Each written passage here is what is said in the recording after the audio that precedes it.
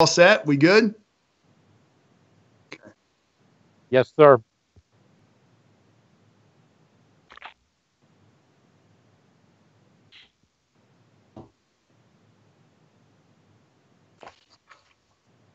Hi, I'm Mark Hyman from Greensboro, North Carolina, and you are watching the Best Practices Show.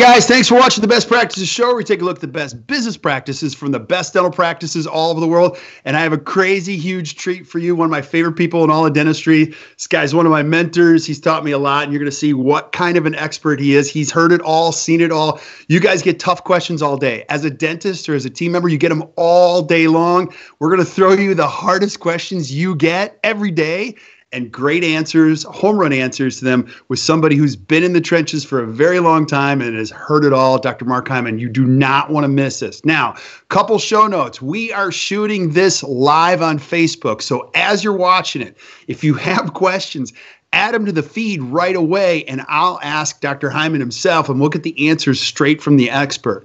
You're also going to see this guy's a crazy expert at social media. So if you're watching these later on, we're watching the metrics on this. Some of you watch them late at night, early in the morning, whenever. Add questions continuously to the feed, and you'll see he'll give you a good response and a uh, very thoughtful one to all your tough questions. Again, thank you again for all the um, feedback. You guys are keep you keep sending us suggestions for shows. I got a ton of them. I even got some this morning. We're lining them all as, as much as we possibly can. You'll see those over the next couple weeks and next couple months.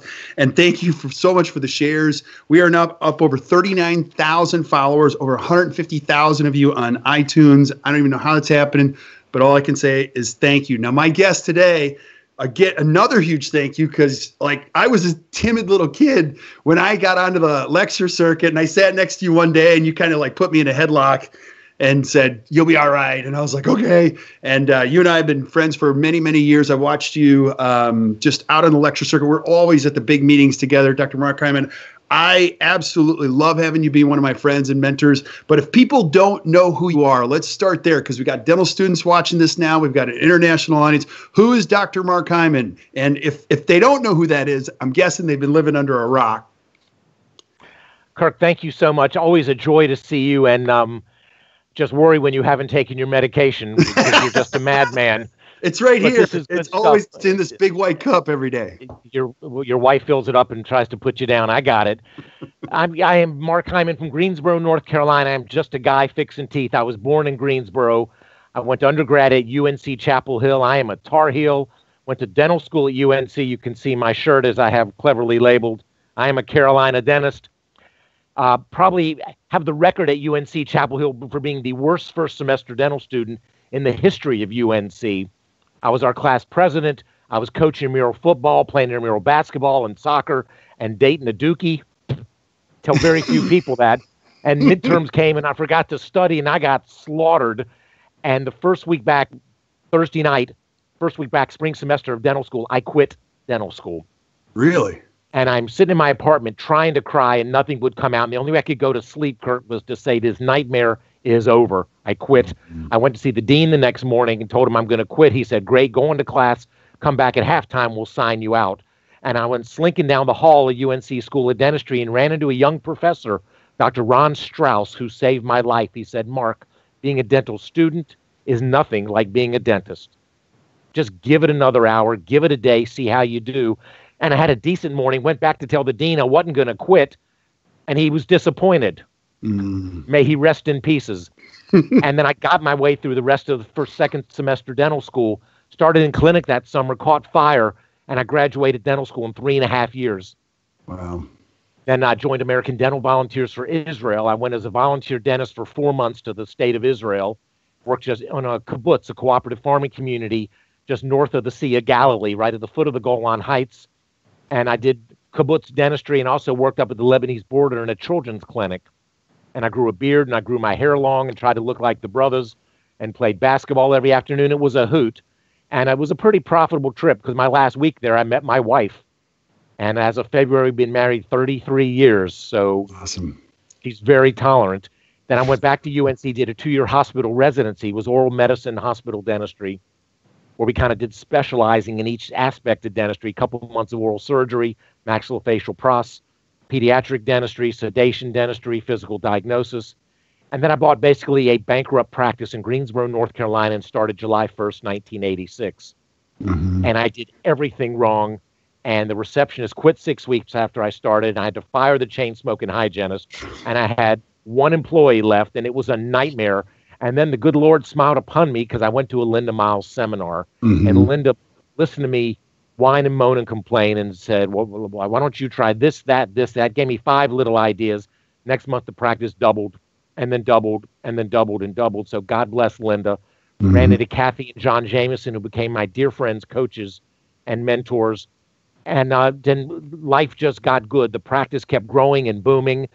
And um, two neat things happened. In uh, October 1989, Ron Strauss asked me to come back to the dental school and tell my story. Tell the story to the first year dental students who were struggling just like I had. And uh, I was nervous, Kirk. I had diarrhea. I'm nauseated. I'm going to go back to speak at the dental school. Mm-hmm. And I'm actually, I, I haven't tell very few people, I, I was out of gas. I work the morning. I jump in my car. I'm out of gas. I drive to the gas store, fill it up. I jump back in the car. I hear a rip. I rip my pants. Oh, no. To my tush. I'm like John Belushi in Animal House going back and forth saying, God, what do I do? I'm late for the talk. So I ran home, got another pair of pants. I thought, you know, there'll be a podium. They won't see my pants are ripped got another pair, drove to Chapel Hill 90 miles an hour, run into the building, run into the lecture hall. Everybody's sitting there waiting, and there's an empty lecture front of the room eh, with except a metal folding chair. And it, I'd have been mooning Miami if I hadn't changed pants. Oh my gosh. And I ran to the front of the room and said something, and they laughed, and I said something else, and they started clapping and howling. And I finished, and it was just staggering. And Professor Strauss came up to me and said, You just got a magic moment there. You don't get many of those. Mm-hmm. And I said, I don't know what that was, but I want to do that again. And that was the beginning of my speaking career. And in 1990, in January, Dr. Reed Clark from Greensboro and Dr. Gene Grubb and I went to the Pankey Institute in Key Biscayne, Florida.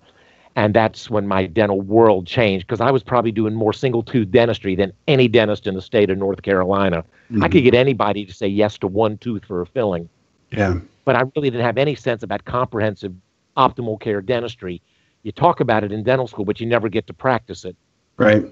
So Dr. Irwin Becker from Pankey took me under his wing. So my time at Pankey, getting a fellowship at the Academy of General Dentistry, my mastership at the Academy of General Dentistry, my time with the Dale Carnegie Organization, the single most important thing I did inside of dentistry was going to Pankey and Spear Education. Outside of dentistry is my time with the Pankey Institute. I'll say that in my seminars, gang, why would you want to study material titled how to win friends and influence people, mm-hmm. how to stop worrying, and control stress. So it's time tested material that just is life changing.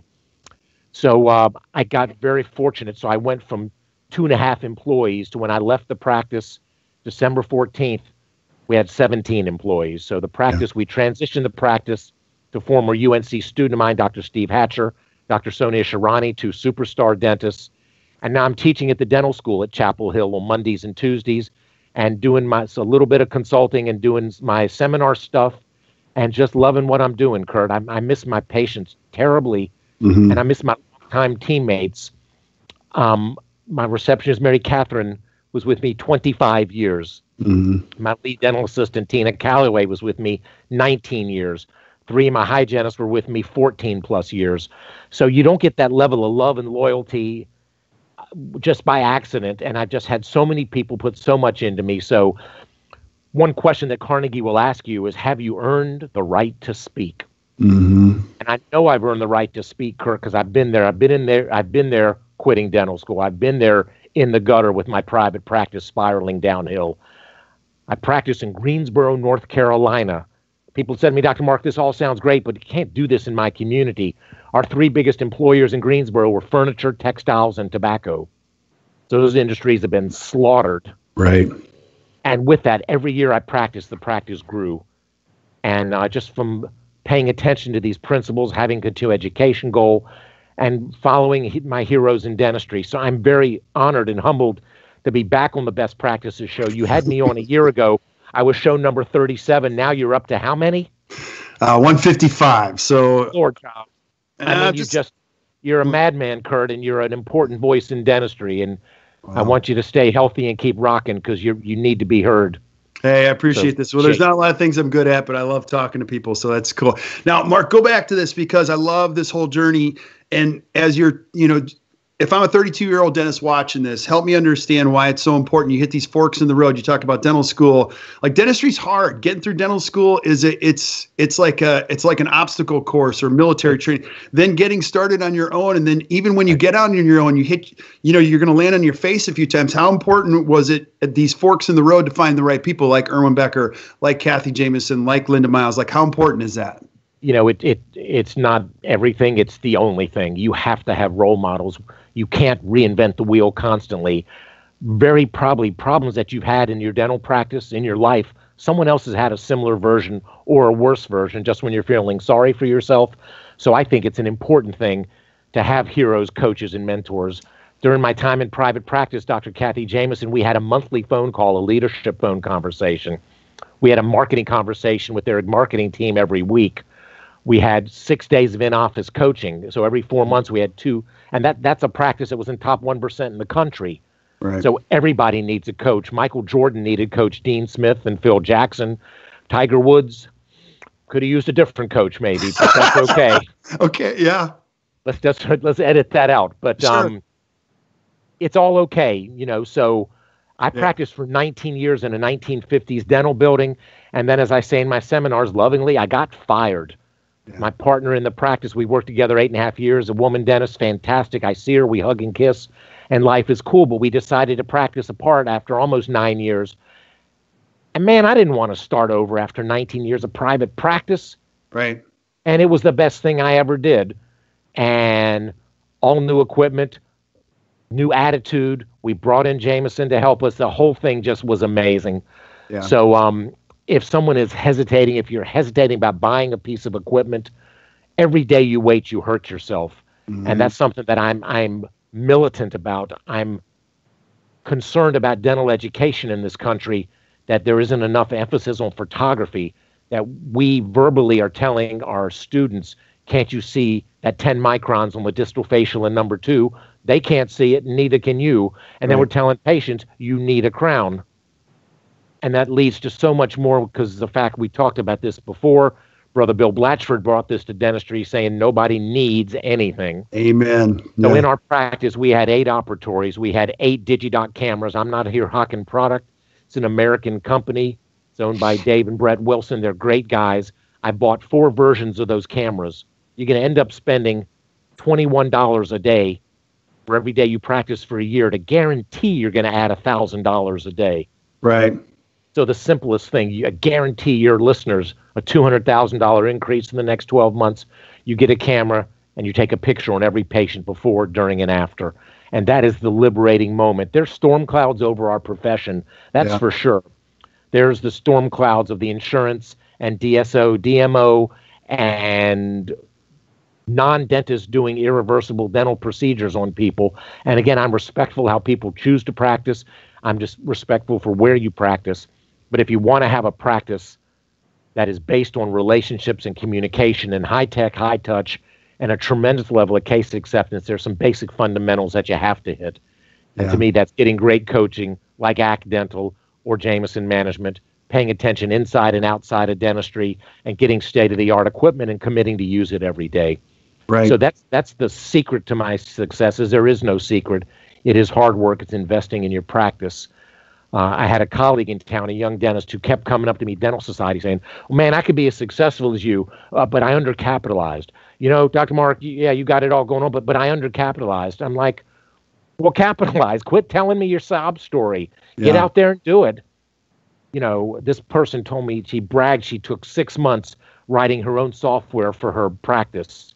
She basically reinvented Windows, Microsoft Windows, and took her six months to write the software program. I'm like, you could have bought it for what a hundred bucks and and, and prep some teeth. You wasted six months. Yeah. Trying to save a penny. So I, w- I want I know the best practices listeners are of abundance and not scarcity, and I hope they take this to heart and just say there's some simple fundamental precepts of highly successful practices and do what I did is just copy the best of the best and that's how you end up sitting here talking to a superstar like Kirk. Oh, stop. Well, there's no successful hermits, that's for sure. And you you mentioned Linda Miles, who we both absolutely adore. I've heard you say this if there was a Hall of Fame in this industry, she'd be the first inductee. And there's absolutely. no question. And I remember calling her when I was so stressed out, and she goes, That's dumb. Stop doing that. And I was like, Oh my gosh. She goes, I have been doing this for a long time. You are wasting hundreds of hours. I was like, Oh, it was so. Could you imagine going on for years and years and years, continuing a behavior that's not helpful? And she did it in one phone call. And I'm like, Oh my gosh. So it's crazy important to reach out for help because running a practice, I mean, as a practice grows, it doesn't get easier, right? When you add all these ops and team members, does it just get easier every day? No, I mean, I, I miss the days when I had three employees and a team meeting was in my car. Uh, when you go from three to 17 and booming, um, bigger isn't always better. So I have no regrets. I got to practice different types of dentistry, different phases of my career and uh, and I loved it. But I just so appreciate you. You kind of hit the nail on the head. You could have paid Linda Miles fifty thousand dollars for that phone call, right? Because it was worth it. It was. you say, "Would you only talk to me for a minute?" And she would have said, "It took me forty years to figure out in a minute what you were doing wrong." Right. So that's that can sort of lead to an answer to some tough questions as well. When people say, "Well, that didn't take you very long," well, you know, the janitor comes at five o'clock, he'll do it for half the fee. And so, anyway, there's just uh, dentistry is a joy, Kirk. I love, love, loved my practice career.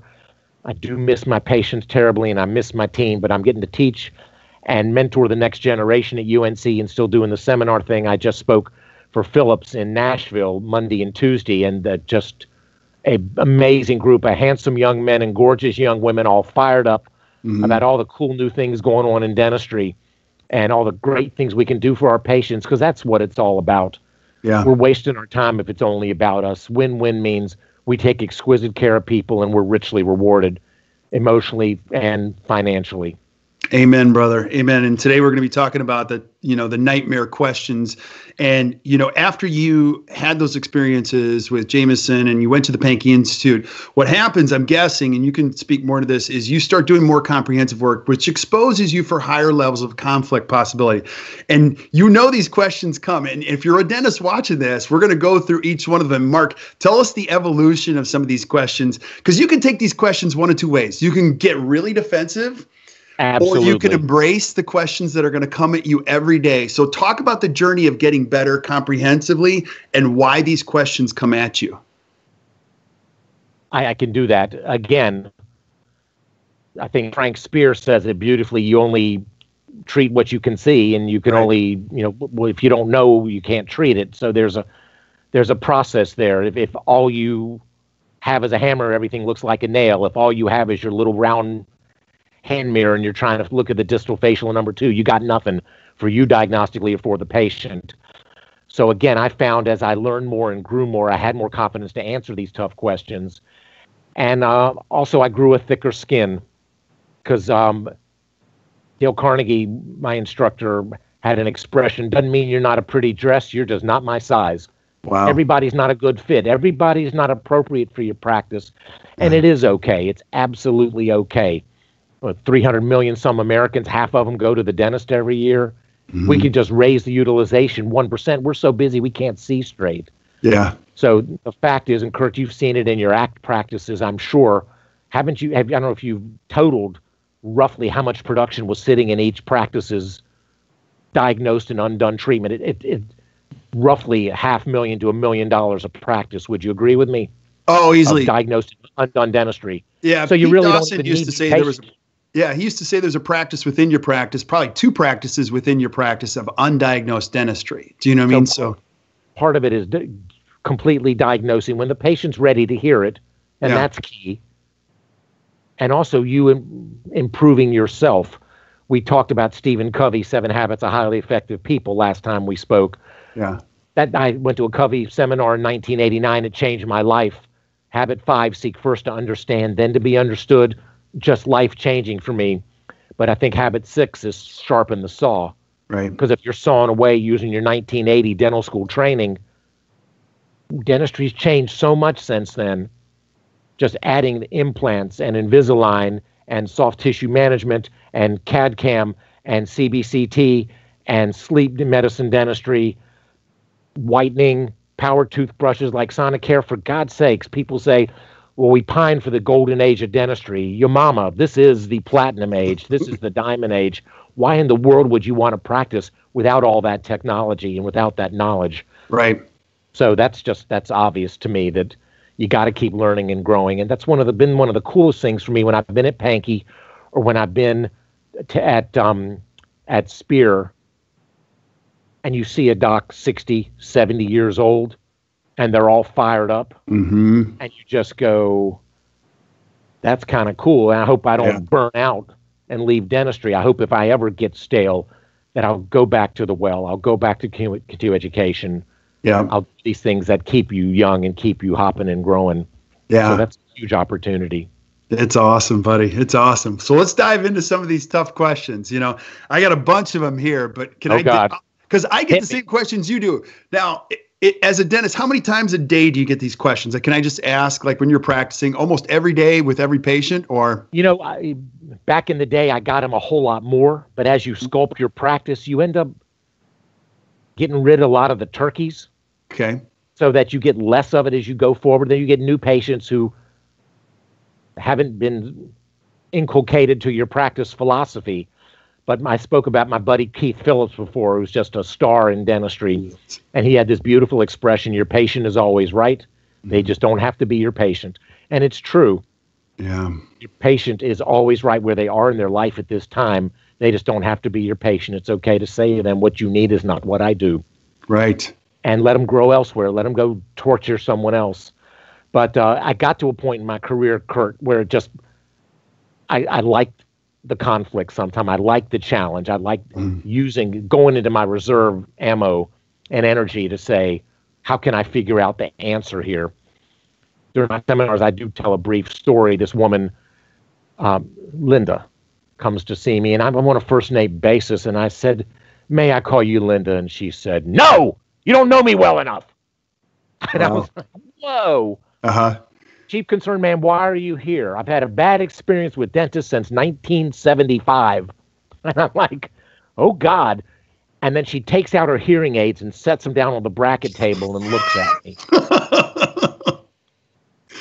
And Kirk, I got nothing left, man. yeah, So I just looked at her and I said, I started lip syncing. uh huh, She looked at me and I said, and she looked at me again and I said, and she starts howling laughing and that was it. I pulled the thorn out of her paw. But I mean, I'm, I'm there dangling saying, I got nothing left. right, I had a bad experience with dentists for the past 40 some years. Her Yeah. dad was her dentist. She hates going to the dentist. May I call you Linda? No. yeah, And I was like, uh, you, okay, I don't know where to go from here. So I just thought, well, she's out of here. I may as well just mess with her. And that she became one of my all time favorite patients. She'd walk in, hugging everybody and bringing us gifts, and it was a joy. that's So- awesome. So, I mean, it's almost cliche. People are going to resist as we go through these tough questions and these angst producing questions. The best minds in dentistry have helped find some ways around it. You're not going to win every time. You're Yeah. not going to knock it out of the park, but it's sure fun trying. It is. It is. That is so fun, man. So let me throw you one of them that everybody gets every day. And you mentioned this. Um, can we watch it? Or So, the, so phrase the that. genesis of right. So can we watch it? Because techn traditionally you'll say, Kirk, you need a crown, and you'll Uh-huh. say, can we watch it? Because I heard Cathy Jameson say these eight magic words. How do you create the sense of urgency? If you haven't created the sense of urgency, gang, you're going to get that question, can we watch it? There's a temptation to kind of be a smarty and say, mm-hmm. well, watch it do what? right. but I want to caution people and always answer a tough question with another question. Kirk, can I ask you a question? Sure. How would you feel if we watched it and the tooth continued to split till it went through to the gum line? Mm. So try to, if you don't have the evidence, you need a crown on the distal facial and number two, you've got a crack. They can't see it, they don't own it. As crass as it sounds, if they can't see it, you can't sell it, close it, treatment plan it, whatever you want to describe it as. Right. So that's my hope for people is you put a color photo in front of them. The verbiage I'll say in my seminars is you put that Digidoc photo in front of your patient, showing the crack, and just look them in the eye and say, wow. Yeah. Hmm. Yeah. And so if you're watching this, you'll get a chance. This is why this guy's a master, is that your questions are, aren't the questions that come at you aren't always answers. The questions that the answers you're giving back are questions. And I've heard people say this before that the question is the answer. So you're getting patients to think about this before you deliver an answer instead of just saying, you know, here it is. Is that is that how you you because you do want to get them engaged. You don't want to just de- deliver an answer because they're going to tune half of that out anyway. You don't want to be a smarty. You don't want to be offensive. Right. You don't want to chest up to them. Right. But on the other hand, you see clearly they have a dramatic change going on that right. they haven't owned yet. So if you've used your evidence if you show them the cracked tooth and they say, What's that?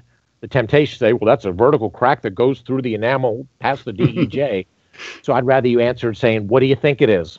Right. Here's the white, healthy enamel. Sir, do you see this vertical line?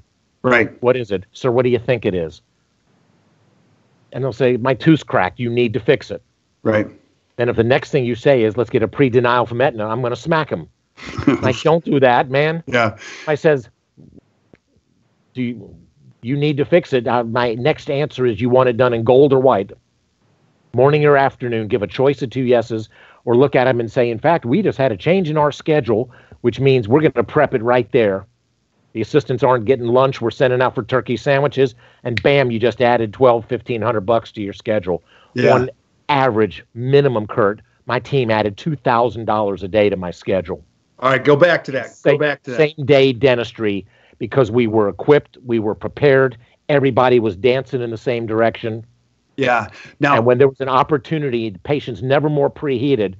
When they went from "Can we watch it?" then you really create the urgency. Take the camera, show them a healthy tooth. Say, "This, see how gorgeous this enamel is. This tooth has some nice features. However, do the give and the take. This has some nice features. However, it's just past its expiration date. Does that make sense?" Yeah. Absolutely. Is that what you want to do? Would you like me to help you save time, save money? Why would you say yes? I had a senior, it was a former Harvard professor in the office, mm-hmm. showed him this tooth, and I said, Sir, to help you keep this tooth, we would secure it with a crown. Mm-hmm. And he said, A crown? I can't possibly do a crown. I thought, My God, I've killed him. Uh-huh. Now, the temptation to say, Well, sir, you don't value optimal care dentistry. Well, but you have insurance, it'll pay half. Instead, I said, Well, sir, can you tell me why? And he said, I'm going out of town today. I won't be back till tomorrow. Mm-hmm. And I said, Okay, sir, if I can put a band aid on this tooth, then can you come back tomorrow? And he was like, Sure. Mm-hmm. So that that was just amazing to me. Yeah. Crazy. It's crazy. Now go back to you. You gave us a huge pearl of You give them the options of two yeses. Explain that. The temptation again. You need a crown. And once they've started to buy in, do you want me to stick a needle in your gum? Do you want me to put a burr in your mouth going 450,000 RPM? No. Mm-hmm. Do you want to keep this tooth the rest of your life? Yes. So they say, okay, my tooth is cracked. Then instead of asking yes or no's, well, do you want it fixed in the morning or afternoon? What's better for you? Right. So you're asking, you're leading them towards the yes. Mm-hmm. If I could secure it right now, Kirk, do you have a couple minutes? I know you're a busy guy. You've got a gorgeous wife, brilliant wife, and fabulous kids. It, it, you drove an hour to my office. I got you right here. You got a couple minutes? Can I? Right. Secure right here. We've been a CAD CAM office, a CEREC office for 21 years. We, if the patient says yes, we can rock and roll. Right. And the other thing is, too, the underlying thought process that you guys have is you assume patients are going to want your care. Sometimes dentists might be watching this going, well, Mark, that's just too suggestive in my office. You know, we always ask people if they want to do that. I think what you're talking about is a is a huge mind shift that people are coming to you. They want your services. They want what you can provide, and that's a key piece in everybody's journey in dentistry. I think isn't the word assumptive, right? Like an assumptive sale, right? And what I want to say to the young docs watching, help help me understand, troops. Are you tackling people at Walmart and Costco and saying, "Don't you want dentistry?" Or did they walk into your dental office? That's so true. People yeah. walked into your dental office. Isn't that showing a buying interest for some level of health care? They're calling you know your office. They're calling. they're already office. in. They're yeah. saying they're showing you some level as I want to keep my teeth. Right. So then you just give them the privilege of saying how healthy you want to get, how soon you want to get there. Yeah. Can we watch it? You can do anything you want. Can I ask you a question, Kirk? If watching it means that your twelve, fifteen hundred dollar crown has a chance of becoming a six thousand dollar extraction bone graft custom abutment implant, how would that make you feel? Mm, yeah, not good. Doesn't matter to me. For, for, for, us to make bonus, I'd rather do the six thousand. But seriously, right? I put it right back to the patient. Sir, can I ask you a question? If delaying this increases a chance of you getting a slow, painful root canal, how would that impact your life? Right. Oh God, I don't one of them. Mm-hmm. So, yeah. again, P- came to my office preheated, Kirk. We did not accept HMO PPO plans. We were mostly a word of mouth referral practice for my entire career till the very end. The biggest referral I had was Dr. Google. Mm. Yep. We had 1,200 five star reviews on one of the microsites. We worked with Solutionreach, was, was just huge. And right. they pushed reviews to our patients. And I would set the table prior saying, Kirk, can I, Matt, remind me, how did you find out about our practice? Because I went online, you said, I went, Best Dentist Greensboro. You had the highest number of five star reviews. Yeah. Kirk, would you do me a favor? When we finish today, you're going to get a quick email with five questions. Would you do me a favor and lie? Talk about how great Tina is, not the old fat man, and they go, "Oh, uh-huh. you're not fat." But I'd say if you think this was five star service, would you honor me, sir, and take two seconds and make a note online to yeah. honor me and my team? If anything here today isn't superb, would you please tell me right away? Right. I want to go on and read it. So I planted that seed with new patients right up front. This is going to be a five star experience. I dare you to catch me with our shorts down. Yeah. Look around the team. Is it immaculate? Are the magazine straight? Is the music nice? Are the plants wa- watered? Is there toilet paper in the bathroom? Are people introduced? Do they act like they know you? Are there please and thank yous, gentle injections, smoothies after procedures, before, during, and after photos? We had a predictable system. We had eight ops, Kirk. We had eight isolites. Used to isolate on every patient, every procedure. We buffered our local anesthetic with onset Onpharma was the product costs about two bucks a patient for right. them to be numb in about a minute and a half instead of 15 minutes with a mandibular block. Yeah. So the gentlest injection, communication, love gifts, phone care phone calls.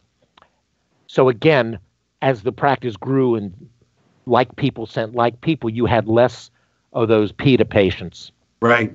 Absolutely. Absolutely. Well, let me dish you another nightmare question. I love it. Hit me. Love it. What you uh, got? Well, my last didn't my last dentist didn't tell me about this. Why didn't my last dentist tell me about this? One of the all time yeah awful questions that we hear. And so when I try to teach my students at UNC, when you don't know what to say, look at the patient and say, That's a good question. Mm-hmm. It's a mm-hmm. great stall answer of all time. so you could say, Well, sir, that is a good question. Can I ask you a question? Yeah. Did they have this technology? Uh-huh. Did they show you a picture of your tooth on the monitor? Well, no, that must be brand new, isn't it? I'll say, well, sir, in our practice, we used intraoral cameras since 1991, but we have eight operatories, we have eight digidocs. Everybody gets a picture here. So I'm sure your dentist did the finest he could do with what he had in his office at that de- that time.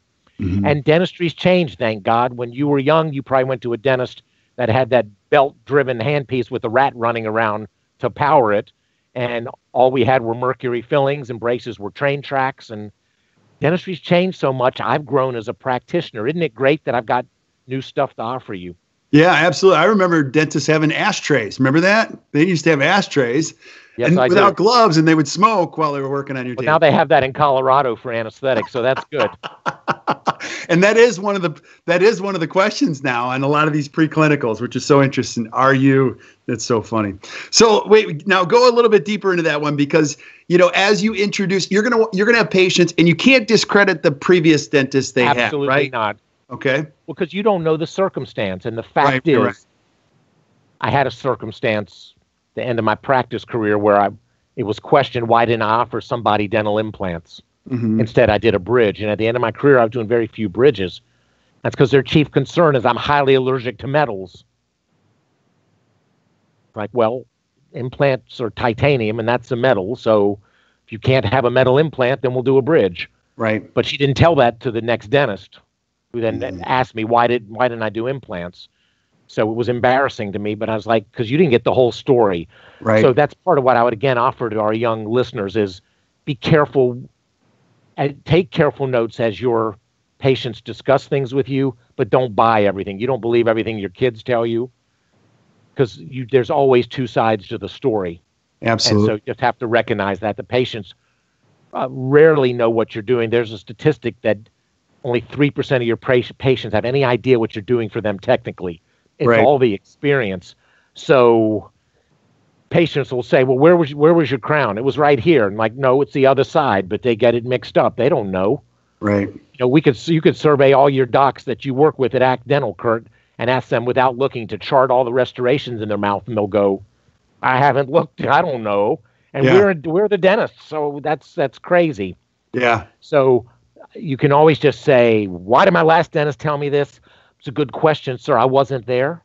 Yeah. I, I don't know what you discussed in this office. We discussed everything with a color photo, so you and I are looking at the exact same thing, and right. we have the same point of reference.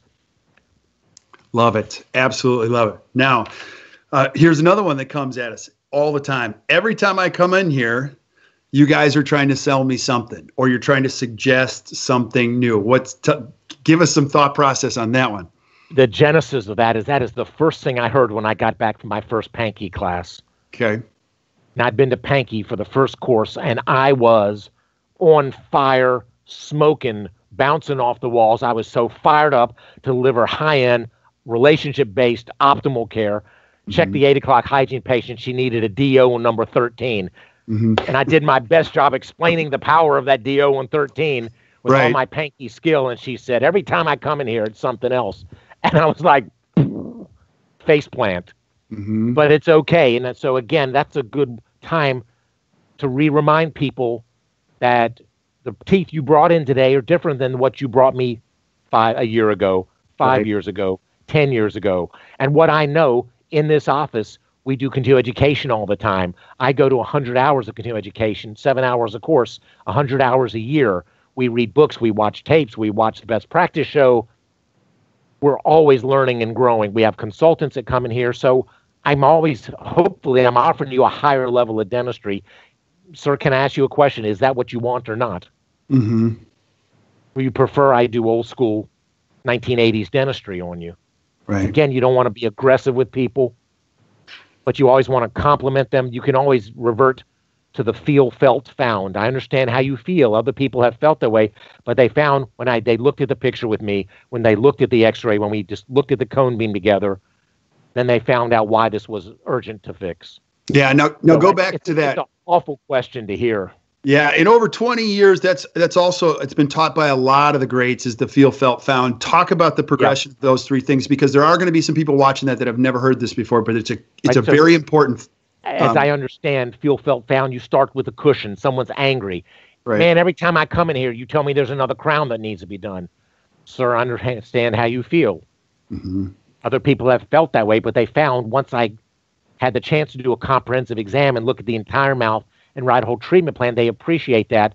I've asked you three times to come in for a complete exam, and you haven't. So when I see you, I'm doing my the finest dentistry I can with the limitations I feel you've put in front of me. Would you give me the permission to come back for a no charge hour where we can go tooth to tooth and I'll show you my best guess what your next 10 years are going to look like? Would that work for you? Yeah. Love so it. that when I Kirk, when I've been bit in the butt career wise, it's when I've seen somebody and jumped into treatment without a complete exam, without comfortable financial arrangements, without having a chance to study the X-rays, talk to my specialists. In my 31 and a half year private practice career, that's when I had teeth marks on my tush because I, I compromised the system, which said you do a complete exam as best you can, you study all the material, and you give things time to marinate yeah. One of the great things I heard Frank Spear say from Pankey, I pushed people as hard as I could to accept optimal care, a complete exam. and Right. a complete treatment plan. And correctly, Irwin Becker, Gary DeWood, Steve Ratcliff, Frank Spear, Greg Kinzer would say everyone's not ready to hear it. Right. So it's okay to filter people through. If someone just wants a cleaning, I was more militant early in my career. They just want to get their teeth cleaned. Well, you can give it to them and say, in this practice, we're, you got a wedding. It's Wednesday. You got a wedding Friday. I understand. We'll clean your teeth. Yeah. But then we'd love for you to come back and let's do a complete exam so we can help you save money long term. We can help you achieve your goals for your health, your teeth, your smile. Is that what you'd like? No, I just want a cleaning. Then you say, God bless. Keep in touch. We're here for you. Right. And I'm, I'm, sure you and I were in a, a lot of those early courses together. And I heard Frank Spears say this probably 15 years ago. And I'm going to paraphrase it, but it was a pivotal moment. He said one of the most freeing places you can be as a restorative dentist is to detach yourself from how you think a patient's going to respond. You're not responsible for how they respond, you're only responsible for the truth.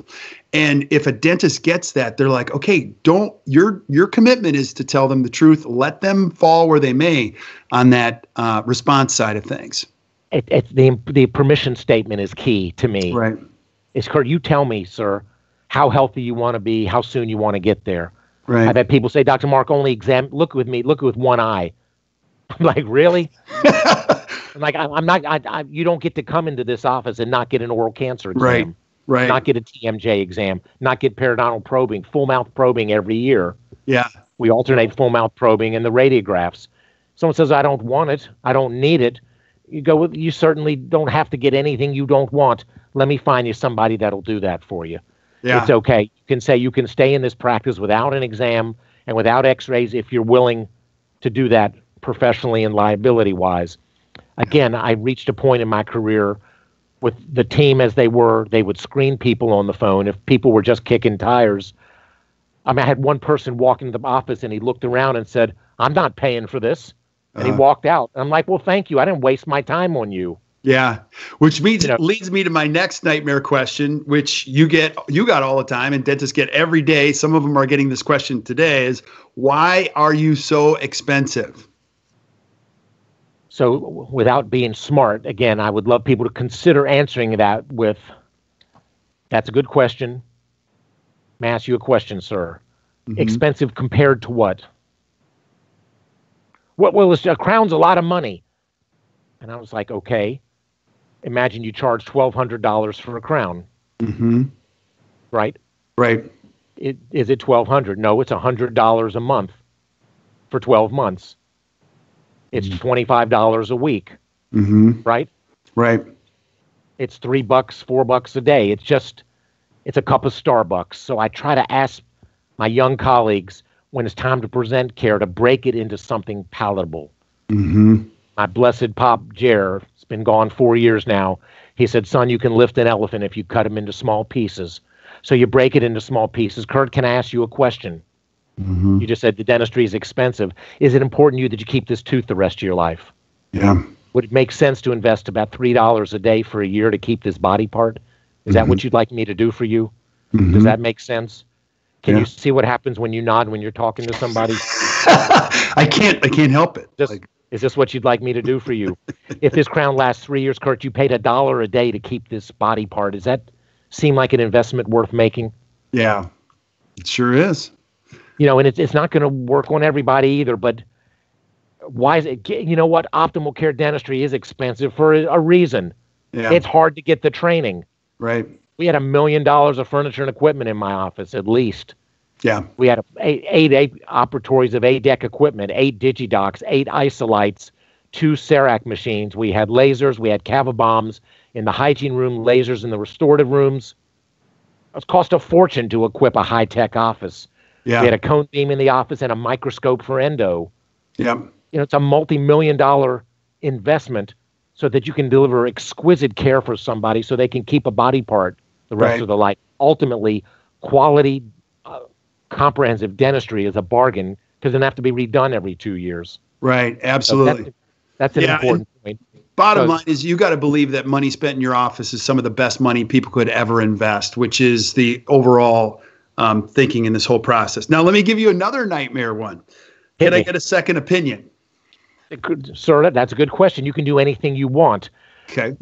May may I provide you a second opinion right here? Let's go back to the video. Let's go back to the monitor. Let's look at the picture.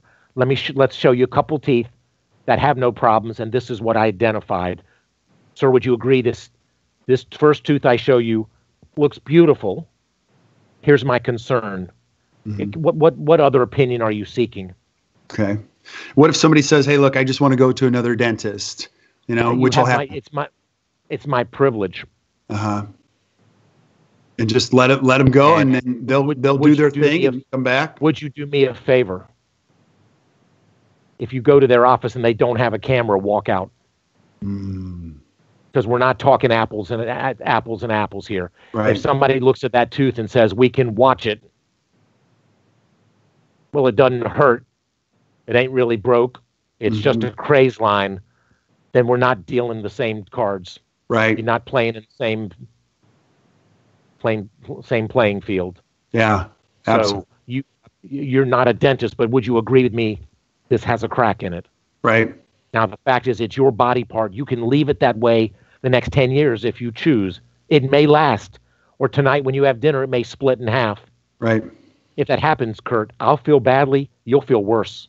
Yeah, absolutely. Lee Brady always tells a story. She says, I'm, I tell patients what's going to happen. You know, you're going to choose not to do this and it's going to break. It's going to break at some time. And she says, patients call her all You already, you told me this was going to happen. I knew it. And Lee's a brilliant woman. So um, I love that. I love Lee that. is Lee is amazing. She's the new chairman of education at Pankey. Yep. and she is a star. A thing I will say to Kirk when they tr- if they want to leave they have a broken body part is, Kirk, I promise you when you call me when this splits the rest of the way, I will never tell you I told you so. Mm, very cool. Now let me let me couple that nightmare question with a second phrase of it or a second. Can I get a discount? Can you give me a discount? I'd say, well, Kirk, I appreciate you asking. Would you? Our fees absolutely reflect the quality of care that we do. If I charge you half, would you like me to leave half of the cavity? now you can't. I, please be cautious using that one. Yeah. You've got a relationship with somebody, you can play with them a little bit. Or I've heard this one You- tongue in cheek is I could I can give you fifty percent off, but I'm gonna have to charge you twice as much. Have you heard that one? I, I don't know. That's a good one. I like that. The old bait and switch. right. But you know, you can say, well, our, our fees are set to reflect the quality of our care, and we use the finest dental lab, and we have a million dollars of a furniture and equipment here. It's Right. Dorkdom. You can just say it absolutely is an investment right. because I promise you, this is going to be the finest crown that can be done in this community, Yeah. and I will not rest until you love it. I had a point in my career earlier where I had a couple people say, because we asked people to pay. One one of the things I hate for the profession, Kirk, is people say, "We'll pay half when you start and half when I'm when you're finished, when I'm happy with it," and then you're set up for a failure. Mm-hmm. So when we had any, we'd say people, you have three ways to pay. That you pay pay a week before, you get a five percent bookkeeping courtesy. Day of the race, use your airline charge card. You write a check, you get a book. You will give you a bookkeeping courtesy, or our financial partner, Care Credit. Right. I'll pay interest for six to twelve months. Right. Uh, a couple years ago, we put four hundred thousand dollars on Care Credit. It was unbelievable. People hmm. said to me, "Dr. Mark, you just lost forty thousand dollars." I'm like, "No, I did three hundred sixty thousand that I may have not been able to do." Yeah. But for someone to say, "Well, I'll pay you when I'm happy," it's coercion. Yeah. And so we would have people pay before the they would pay before we would start. And if they resisted, then we just wouldn't start because I'm not Right. going to be I'm not going to be held hostage to that. It's got to be trust. It's win-win or no deal. Right. Right. So for young young docs, accounts receivable will crush a practice. Yeah. It used to be a mindset in dentistry. Well, you have a healthy amount of receivables. No, money in the bank. People are not happy when they owe you money. The color of your crown isn't quite as good, and the margin isn't as smooth, and the bite doesn't feel right. So you need to get the finances out of the way right up front. Yeah, and and Greg Tarantola, who is a great instructor down at the institute, used to say this: it's it's not about the money because when you get the money up front, it creates greater um, consistency or predictability as you look Yep. at the rest of the process. You find that to be true? Absolutely, and it, it just other words, other words. There's a coercion going on. There's a lack of trust. There's a gamesmanship. I can speak to experience because I had a patient first year of practice, second year of practice, that had been to several dentists and said, you know, I've had two bridges and I hate them. Mm-hmm. And I mm-hmm. said, sir, I guarantee you I can make you happy or you don't have to pay. Wow. Boom. He got his bridge and said, I don't like it. And he left. And I'm like, yeah. well, that was a, that was a very cheap continuing education course right there because I never did that again. Yeah. Now, can I piggyback on that word because you get this question Please. too? Can you guarantee this dentistry? What's your guarantee? Kirk, I guarantee you I'll be here for you. Uh-huh. I guarantee you I will do the very finest I have. And if there's a challenge to the work, if something happens, then I'll be fair with you as you're always fair with me. Okay. I promise you I stand behind what I do. In this office, I'm going to ask you to floss every day. Statistically, less than 5% of our patients floss. Yep. If you're not going to floss, there's the air floss from Philips, there's the diamond clean, which you can spend less than a dollar a day to cut out a whole lot of gum disease. Right. But if you come in here and you haven't brushed and you haven't flossed and you've chewed on ice, and I gave you a bite guard and you didn't wear it, and then your porcelain crown cracks, we have to be a partnership here. You can't blame me for something you did. We have to help each other out. I'll do my very finest. I'm using the finest lab in Greensboro. Yeah. I worked with Mark Whitaker with Universal Lab. He was a picky SOB. Mm-hmm. And he was an absolute master ceramist. Mark's work is what I show all over the country. Yeah. And uh, the first re- impression I sent him, he sent it back and said it's not good enough. I said, "Do you know who I am?" He said, "Yeah, that's why I sent it back." like, let's let's have a talk. I said, "Anything I that. that I send you that isn't perfect, you send it back. I'll redo it. That's awesome. I'll re-impress. Anything you send me that imperfect, I'm pay- I'm not paying for it." Yeah. And we worked together for 12 years. He's a star. All right. I love it. Now I'm going to give you another nightmare question you and I talked You're about. making me sweat here, Kirk. I know. Come on, man. I, I and, and I love I'm this. Hives. Well, these are real questions. And really, Mark, what you're saying is you got to be ready for this stuff. Don't just be ready. Just you got to trust yourself when you go into an operatory and say, these questions are going to come and bring, bring it, and, bring it. And the team can role play at lunch. Right. You can right. write these down and bring in turkey sandwiches once a month and ask each other these questions.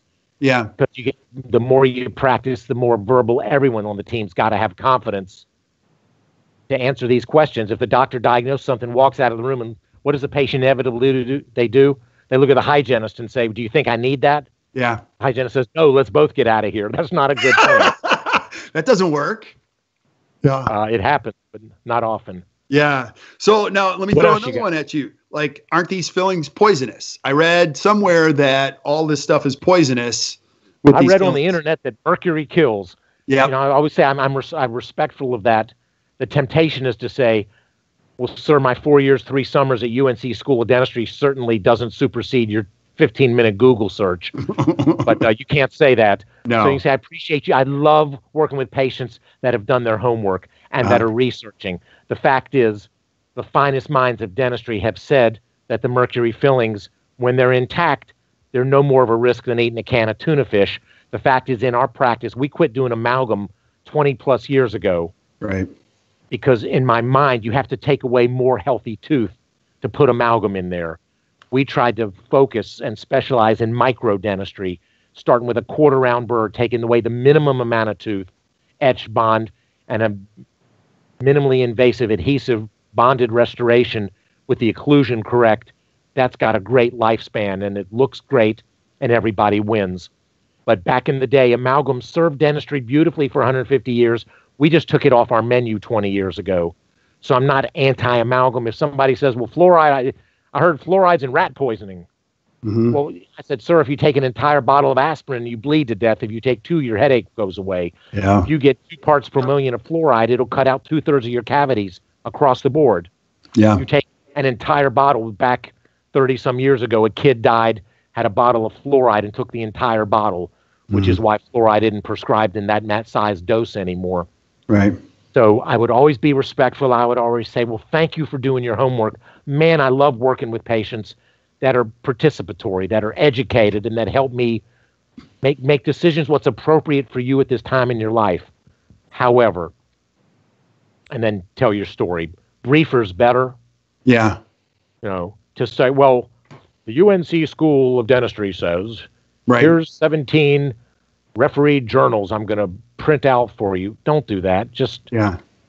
say well, my sister, my wife, my mama, my daughter's in the chair next door.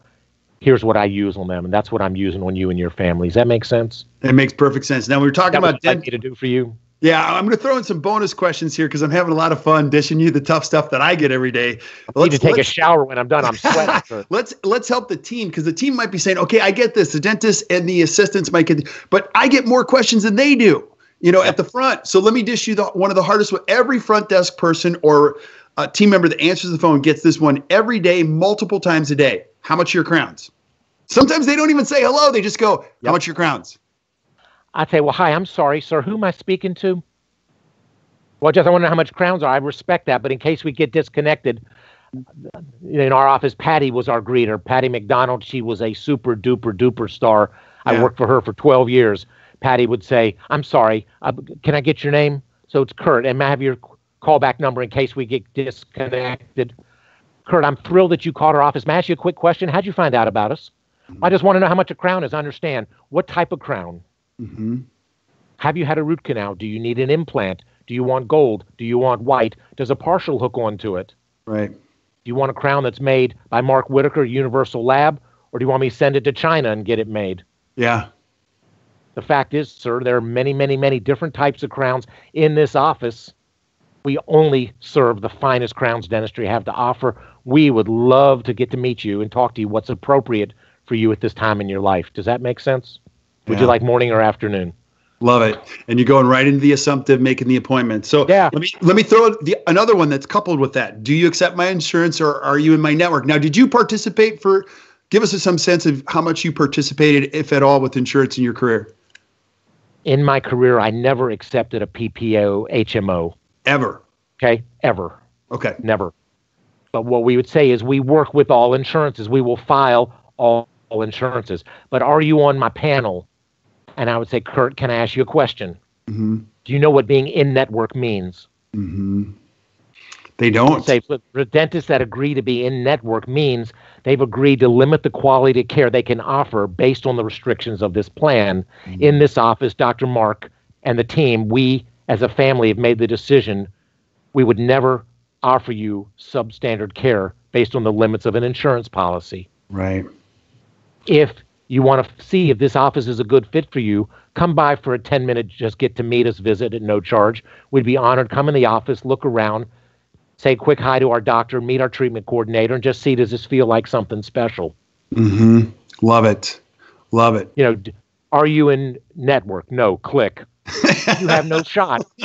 Well, they don't know That's exactly what happens. But, but, but, but, but, we do a two-hour exam, and, and I've taken 5,000 hours of continuing education, and, and I've spoken with Kirk Behrendt at Hinman and Yankee and Chicago Midwinter and Greater New York and CDA and ADA. Nobody cares. So what? Yeah. So I would ask the receptionist, the teammates, to not answer that immediately, to deflect. Yeah. Well, that that's a good question. I'm sorry. Who, who am I speaking to? Yeah. And how did you find out? I just want to know: Are you in Aetna? Yeah. Are you in Blue Cross? And then uh, what I would consider them saying, ask you a question, Kirk. Is our partition participation critical for you coming in? Mm-hmm. Right. Because a lot of times, like, I'm just, you know, I heard you're the best, but I have Aetna. Do you take it? We yeah. love to file Aetna. What yeah. they reimburse you, there's a thousand Aetna plans. I don't know. Right. But I can promise you it doesn't change our treatment plan. Right. Right. Love it, love it. Now I got sidetracked because you you also get other questions, and I was writing down the one that you gave me after the fillings poisonous, and I you, yeah, and I got sidetracked. But what are some of the other tough nightmare questions you get or you got as a dentist in all those years of practice? Do you have your list there? Oh God, what else did I have? I started writing it down and I got sidetracked when you were we were going off on a tangent as we often do. One th- one thing that I hated, and again I had a level of love and loyalty for my team which was unbelievable. Uh-huh. But what you hate is when every time I come in here, there's a new face. Oh yes, yes, what's yes, yes. Go- what's going on, man? Yeah. And that answer, I hope, is that you know when Dr. Mark started the practice, there were two and a half employees. Now there's 17 you know, we still have Mary Catherine here who's been with us 25 years. We have Tina who's been with us 19 years. We have Carla Jean who's been with us 14 years. And we have new teammates. Back when we merged with Dr. Hatcher's practice, we said, the two busiest practices in Greensboro, North Carolina just merged. This is a battleship. Yeah. And it's awesome. The talent in this office now is unbelievable. I can't wait to introduce you to some of our new family members. Yeah. It's great. Because the turnover is painful for young doctors that consider that team salary is overhead, your mama. It Yeah. is your investment in your long term success. Yeah. And well trained, turned on, fired up, loyal teammate is a million dollar employee. And that's how they should feel every day. You Right. should spoil your team rotten. And um, Kirk, I have a small birthday coming up. Okay. Tell us. When is it? July 24th, I'm going to be 60. Oh, but you're See, that's when you're supposed to say, Mark, you don't look 60. no, you're still in the front nine. You're still in the front nine, right? And I'm rounding third, heading home. But I, I said that in a seminar, and a woman calls out, mm, mm, mm, look- looking fine. I said, Where were you when I was single? She said, In utero. Killing me, man. Oh, But man, I'm turning 60, and I've already had half my team, my former teammates, reach out. They're going to have a, ta- a birthday din- lunch and dinner for me with the gang I used to work with, and they've been sending me cards and writing because um, it just gets me verklempt. I, I had the richest clinical career working with these magnificent women, and they're still part of my life and they're part of my family, and I'm, I miss them terribly yeah. but they're still in my life. And that that's what I wish for your listeners that you reach a stage in your career where you've made a profound difference in families' lives and your teammates' lives and your own life. You've had a a rich, loving career, and that it's a it's a wonderful, wonderful thing. Dentistry is just the greatest profession ever. Do we have storm clouds coming over the profession? Yeah, we do. But name a profession that doesn't.